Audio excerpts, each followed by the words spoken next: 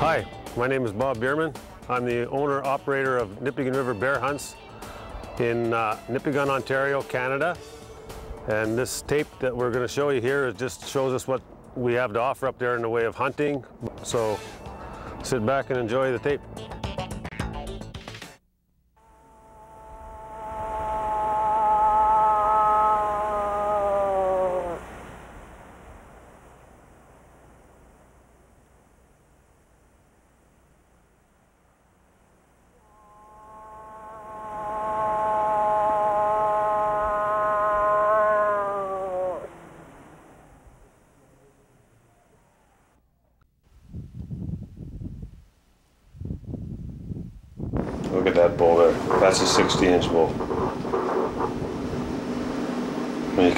To a blind. And the guy's sitting with me instead of being in his blind. Look at that spread right there. And he shows him off too. The guy decided to come with me that day and track a wounded one rather than sitting in his blind and he's about to walk over it right now. We would have had that. Anyway, I got some nice footage of him. He's still out there. This is just another marsh that we hunted. Kind of the typical kind of morning stuff we're looking for. There's Brian's moose. He shot that the last night of the season. We found it next morning.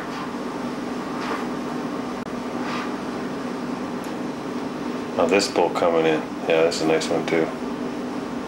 Now I had the hunter set up so that the bull would walk right by him, and I called to him.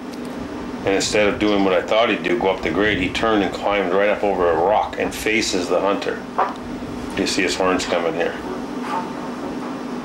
He's got a long bow. So he has to hold his nerve.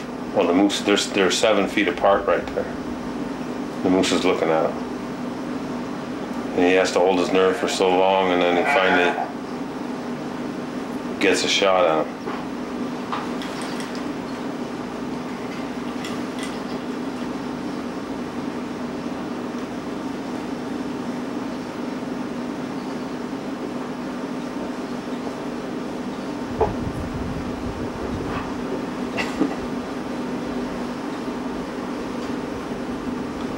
The moose turns and he drops away to his left and exposes his whole side just perfect. But he's been sitting there facing that moose for so long, I don't I think this guy's John here, he's starting to come unglued a little bit because he doesn't pull his bull back far enough for one thing. And he hits him on the shoulder, and that's that.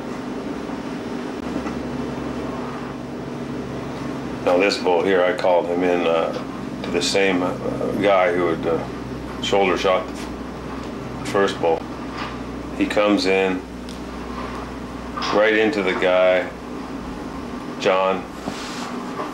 And I don't know, he said he couldn't get a good shot, but I think uh, in hindsight he just was so afraid of, you know, shanking another shot, he just talked himself out of shooting because the bull turns right around the circle. He's only 10 yards from it right now. He, told, he turns for full circle in stages, so there's got to be a shot there someplace. Yeah. There's one. And coming up is one better. There's one. And he doesn't he doesn't shoot. So finally the bull sort of gets smells a rat and heads for heads east. That's a moose wallow. One of my spots. I don't use it very much. And there's another spot I have a moose blind. This is the south end of Lake Nipigon. 100 miles long, that lake, 60 miles wide. Now here comes the bull. I called this fella in. One of three that morning. First one. Wades off to my left, getting ready to shoot. And I got him wearing a decoy and trying to film at the same time. Here he comes.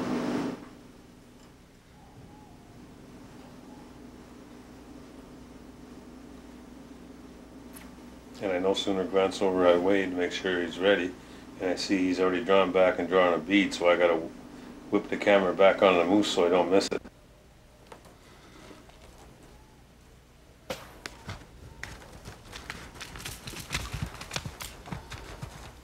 And it hits him dead center. Perfect shot. Arrows through both sides, the feathers are sticking out this side and the point's out the other side. He stays on his feet for a while, but he's done. Just, you can see there the feathers hanging out.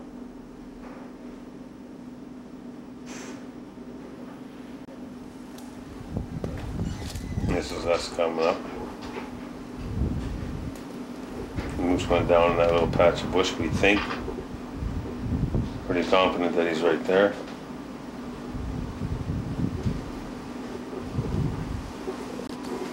Yeah, we got him. Oh yeah. Check that dude out. That's what I've been talking about. Thanks, buddy. Awesome job. I've be calling you a Bob Moose Man instead of Bob Bear Man. That's my decoy. That's Myrtle.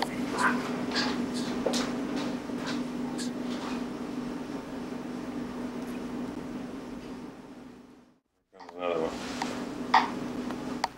This is the same day. Now we got the one dead piled up over that hillside and this one comes up.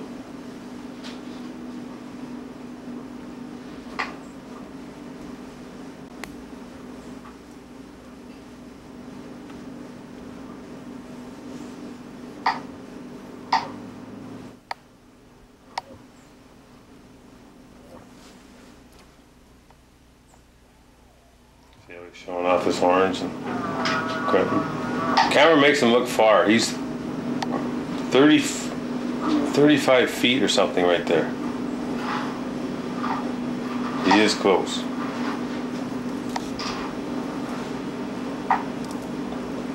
But we've already got a dead one, so we're just doing this until we run out of uh, camera, which is going to happen here quite, quite shortly. We knew we were short.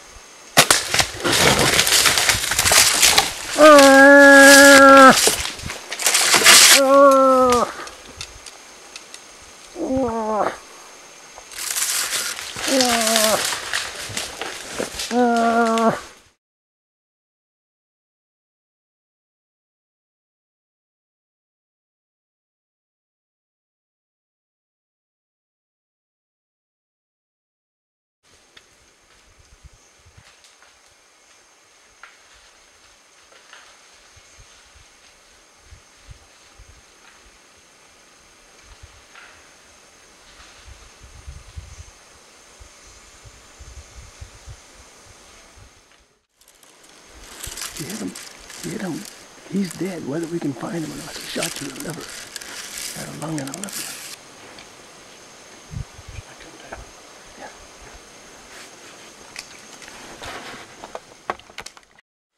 John shot that moose last night, right at dark.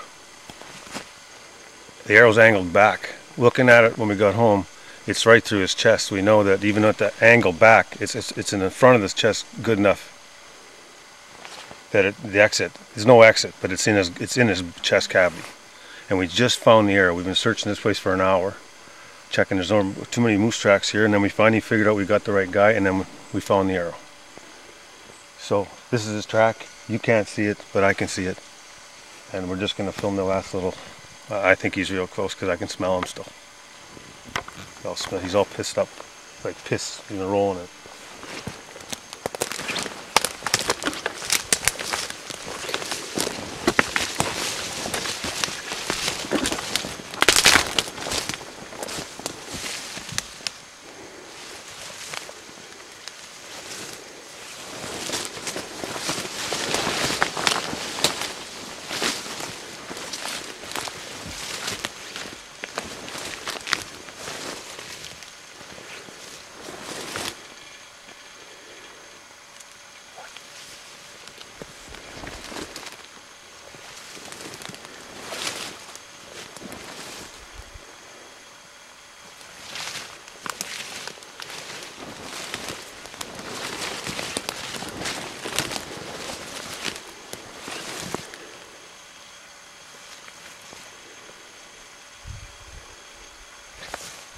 There he is.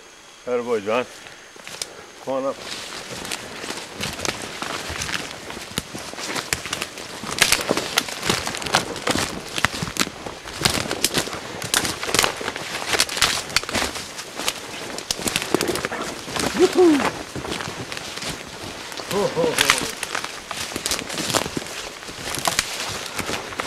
A little bit of luck involved in finding that one. See what I mean by smelling? I can smell him. Can you smell him? Oh yeah, smell him real good. Well, me and Bob rode a boat over and did a 150 yard portage and got into a canoe and we got all set up and Bob went to calling and it wasn't very long and this boy got to answering and it didn't take long he came right in so Bob had his pretend female moose on and Myrtle. Myrtle, that's Myrtle. Myrtle. And he came right in under the stand, probably about a 10 foot shot, and Bob was probably a whopping 15 foot away from it. Yeah, that was that was intense, all right. Yes, it was. Knees shook quite a bit. And I'm very happy. Okay, now while we got what on the subject here, a fella, a TV show, uh, Haley Heath's Family Traditions was here last week. A fellow with them, a real nice fellow named David Young, helped me put that tree stand up and wanted desperately to hunt there. And the weather would not cooperate at all. We just couldn't get up here. It was way too windy. So, anyway, David, I wish you were here. it was a good spot. oh yeah. And as we looked for this moose, we saw sign everywhere. Yeah. That made it hard to track him. There's so many tracks in here. What do we see? Ten beds, John? Oh yeah, beds every place. And we haven't gone. You know, in, in, real reality, we haven't gone 200 yards. Right. All right. Well, I guess we'll just get to. Uh, we have to cape this and uh, bone it out, and it's going to take us a better part of the day. Thanks a lot, Bob. Oh, you're welcome.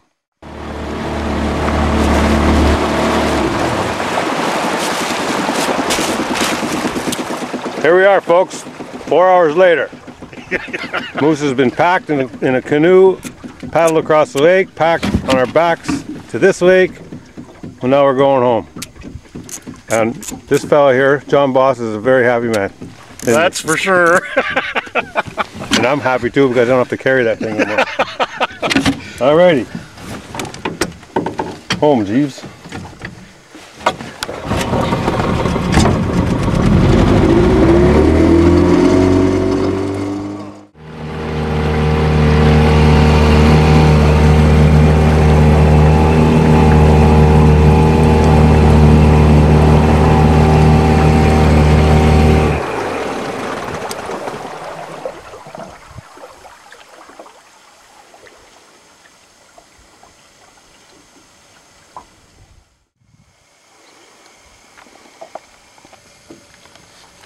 Don't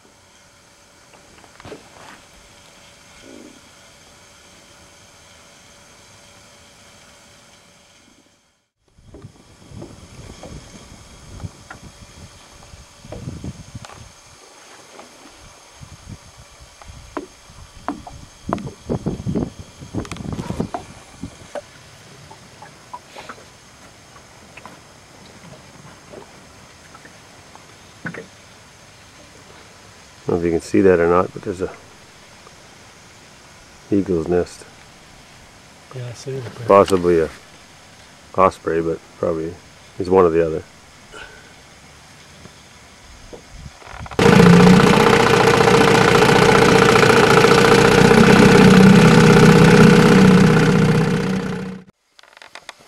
Okay, Kevin just shot a moose here.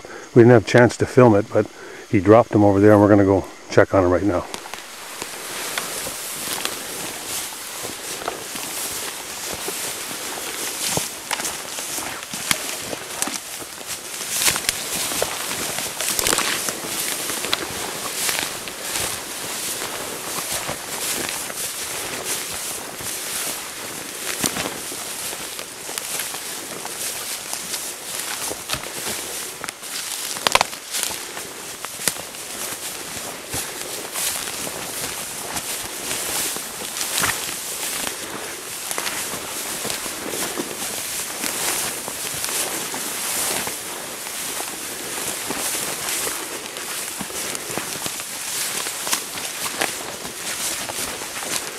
Your right. To your right.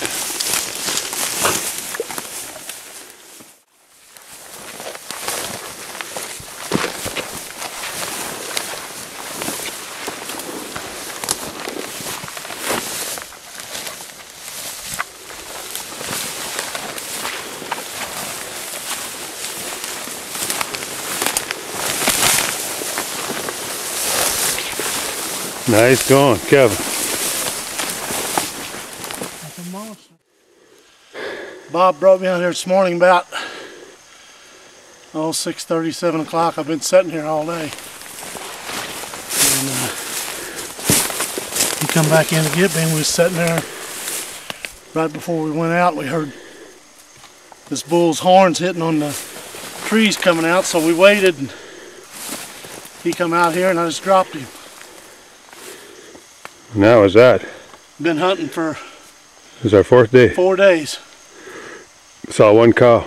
and we got our we got our bull.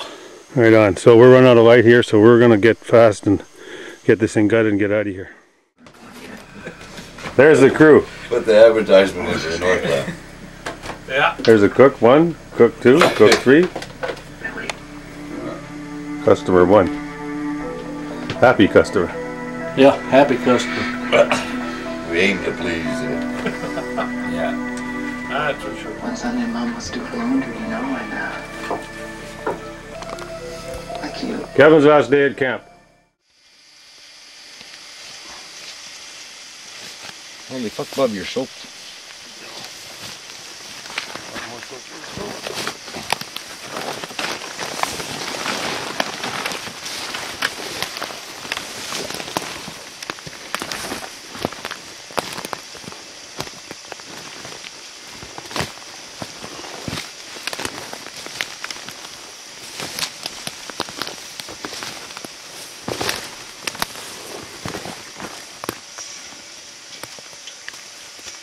Try and get as much meat off as you skin it.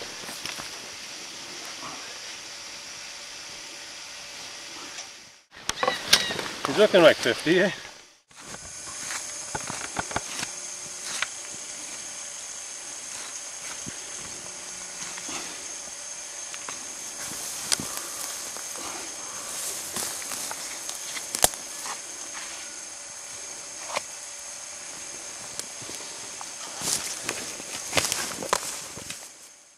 back. Yeah, that that we have to wrap up that car that that uh, cape. Yeah. And rope it. All right. See you in a 45 minutes, whatever it is. An hour.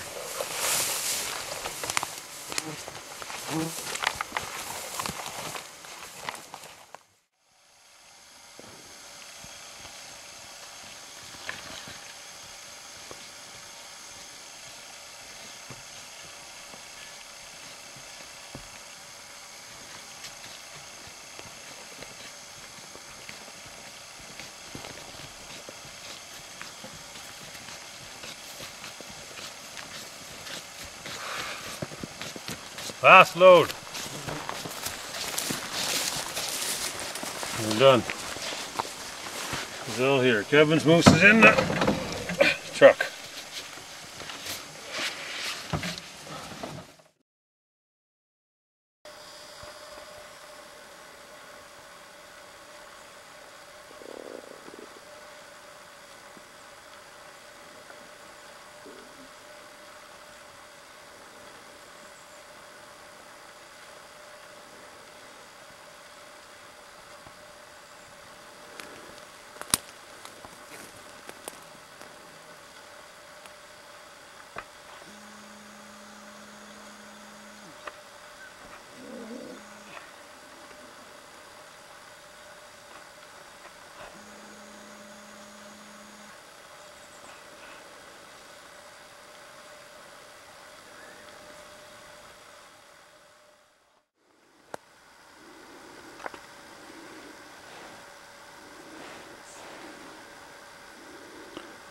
Second last day of the hunt.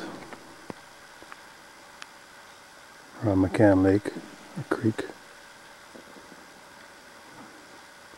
The weather is atrocious. It's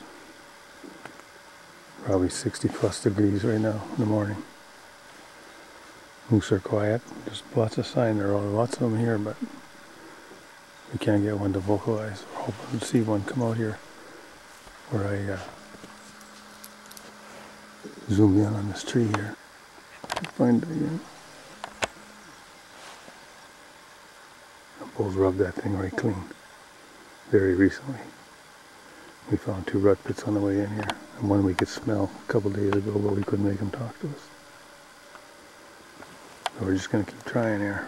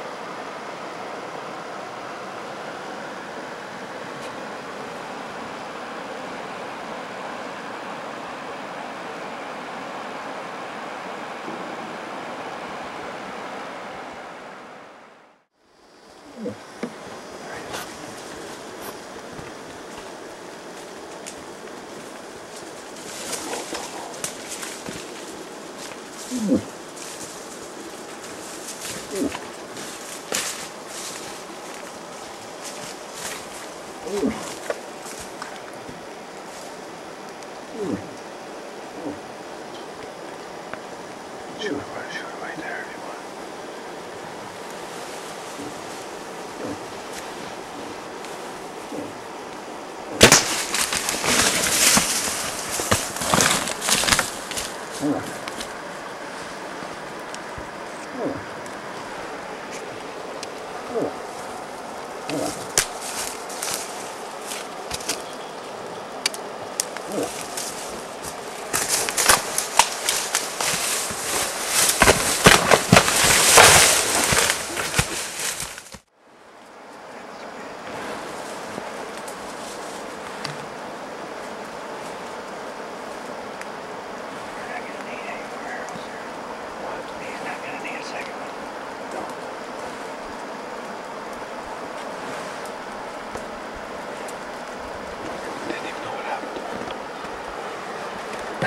Perfect.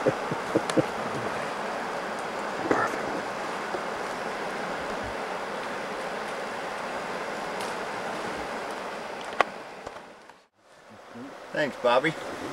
This is the second year I've been up here hunting here with you on a moose hunt. Um, came in last night, we found this hot spot. A little bull came in, about 40 yards. I got buck fever and missed him, shot low. Got lucky again today. We'd only been in stand about an hour and a half, two hours maybe. And uh, started hearing a grunt, we've been calling.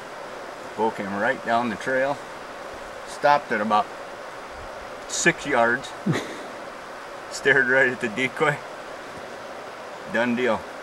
He crashed here, not 15 yards from the stand. Real nice bull. I'm real happy. Thanks, Bobby. Appreciate it. Thank you.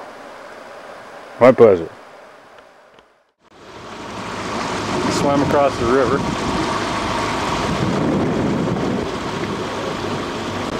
And I should be able to see my tree stand right, right there, I think. You know, there's a good chance he might still be alive because there's no birds coming out of there. There.